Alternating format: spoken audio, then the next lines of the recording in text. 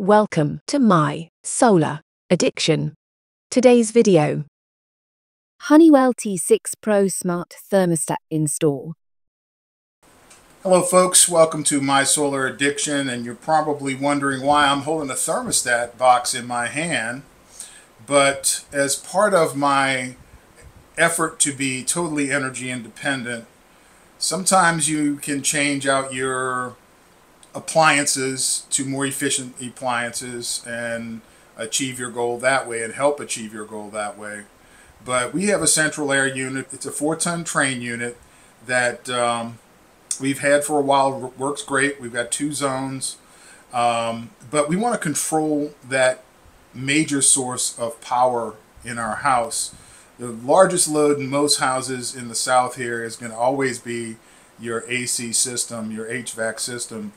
So if you could actually turn the thermostat up and down depending on how your power and your batteries is going, how much PV you've got coming in at any given point in the day, you can actually control how fast your batteries get charged, how much power is getting used, even though you're not at your house.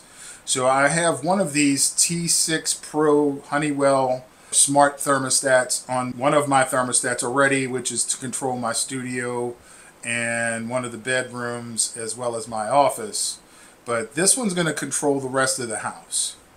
So we're going to show you how to swap out the old thermostat for the new one so that we can actually control how much energy we were using. We're not home. Why should we be cooling the house off that much when we're not home? And then once I decide I'm heading home, I can get on my phone and actually use my app to start cooling the house off before I get home so I don't have to walk into a, a house that's sweltering heat. So it's really important that you get a control over your loads, know exactly where your energy is going so you can actually uh, control how your energy is used, how long your batteries last, and um, be more efficient. So I'll see you on the other side. First thing we're going to do is we're going to take this off of here. Just comes right off. That's our old thermostat. Then we're going to open up this wiring harness and we're going to take our needle nose pliers. Gotta press it down.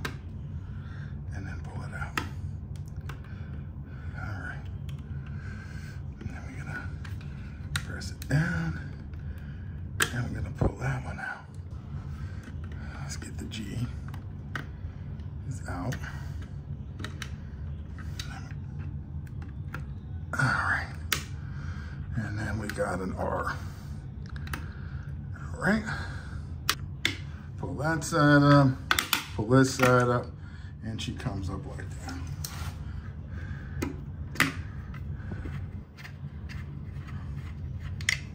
Okay. And we're gonna go to this side. And we're gonna do the same thing. Much smaller screw. I'm gonna get this plate off the wall and we're gonna pull it out. So first we've got our little bag here. Is our new back plate. Looks awful lot like the old one. Got the screws here. I'll start this side first. Get this one in started. This side ain't catching much. There it goes, it's catching something now. And there we go. We've got the wiring harness. On this side, it says pull right at the top. So we're gonna pull. Now we gotta get these wires through here. And we're gonna try and keep everything nice and neat. Last but not least, okay. Is that all our children? Hook on the top and we're gonna push on the bottom. All right, so now we're ready to rewire and we're gonna have our picture from before. We already know where our wires are gonna go. We're going back the same way we came out. So I'm gonna get Mr. Green and I'm gonna put him, I'm gonna start at the top and go my way down. So I need yellow by Y. Oh, where's my yellow? Old yellow. There's yellow. And my yellow needs to go to my Y. All right. I'm gonna shove that bad boy in there. I Want to make sure it's good and far in there so we don't make any cross contacts. Use my needle nose pliers here. See if it can help me bend this puppy around a little bit. Green. We're gonna shove it on in there. One's gonna go in here. All right. This is the red. And that needs to go in there. Needs to go into the white. And it goes in. All right, so the blue wire is not connected to anything. Looks like our black wire was replacing that in our previous install. So I'm gonna go with that first, even though the instruction says blue wire should be on C. Well, let's see what the hell happens. Let's close it up. So now we're ready to put the thermostat onto the base plate and finish setting it up on the app. So I'm gonna put the thermostat on and we can see it is now powering up saying hello start setup. So I'm gonna go to the app now so that we can see how that works. Okay, press startup on the thermostat once.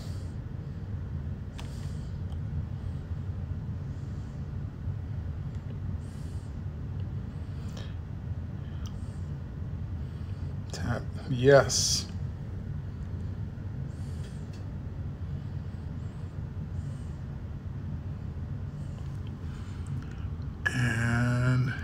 Yes. It is showing that BLE, I guess that is 6LE. Looking for the thermostat.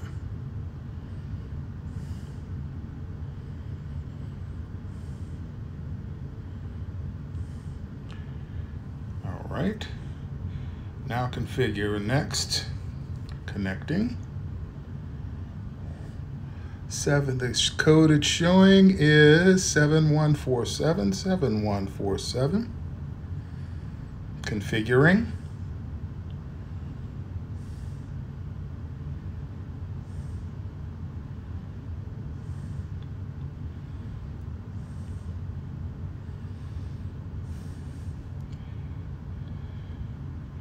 Outdoor air sensor, no. What type of heating system do you have? Conventional forced air. What kind of fuel source does your system use? It's a gas high efficiency.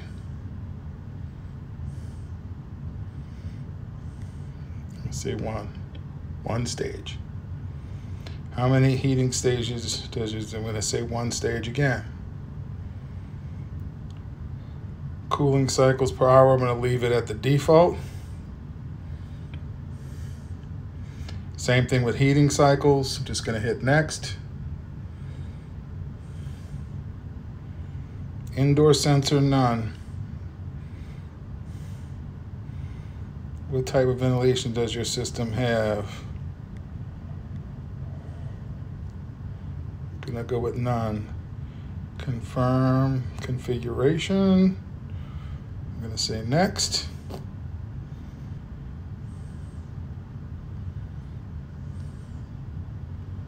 Connecting. All right, so now we want to go to Newman Guest, enter the password.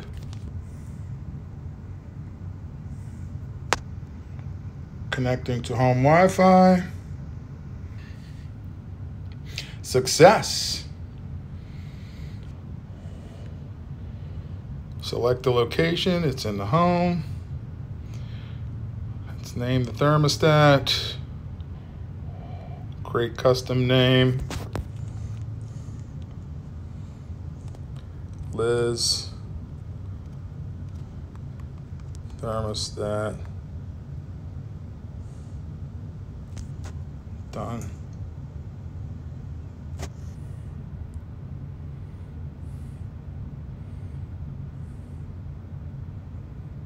Next.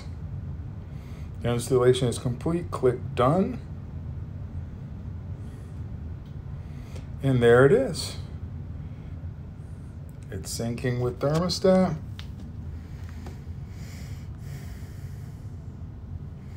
And it looks like it's ready to roll there.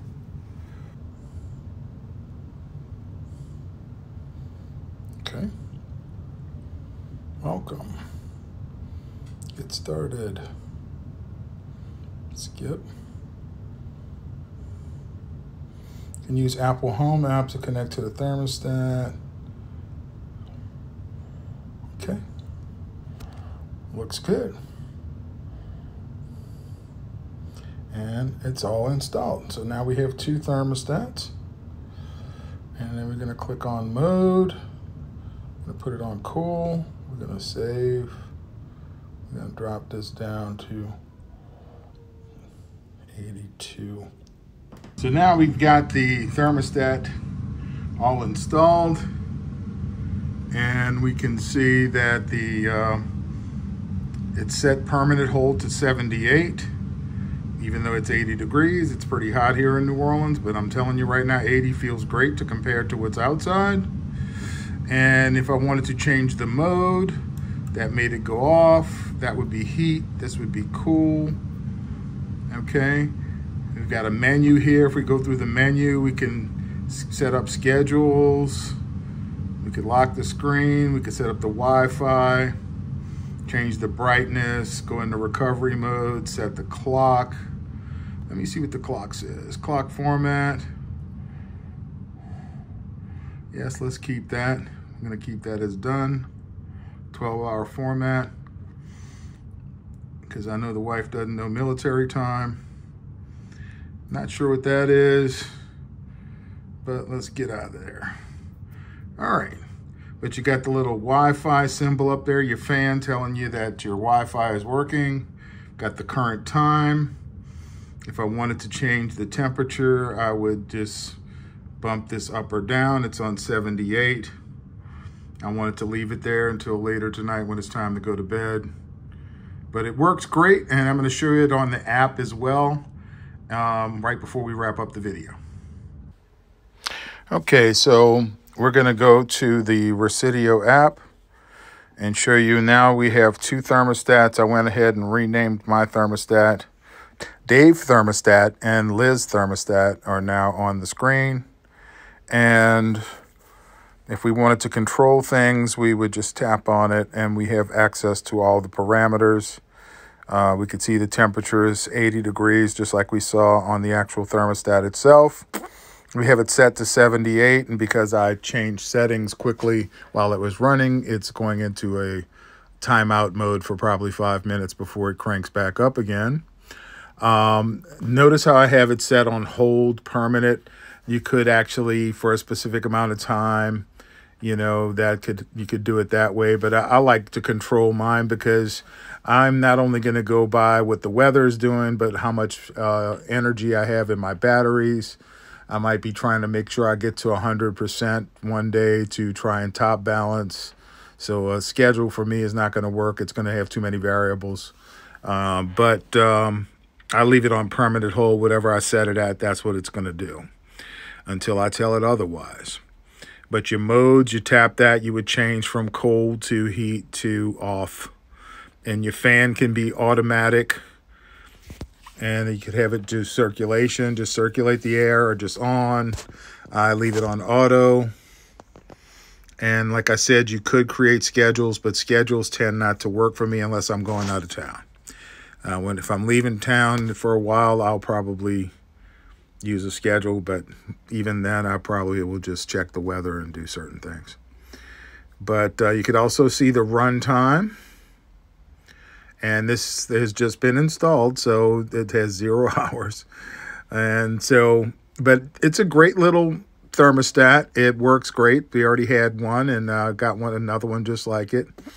I could have gotten a more recent model and paid more money, but I thought this was great bang for the buck, and it's well worth it still, even though it's not the latest model. So if you're looking for a thermostat will work Wi-Fi and work with your home assistant as well because I know I'm going to do that later when I set up my home assistant. Uh, this thermostat will do all that, and because it's not the latest model, the Honeywell T6 Pro Smart is a great thermostat, and I would recommend it highly. Thank you for watching. Hope you enjoyed our video.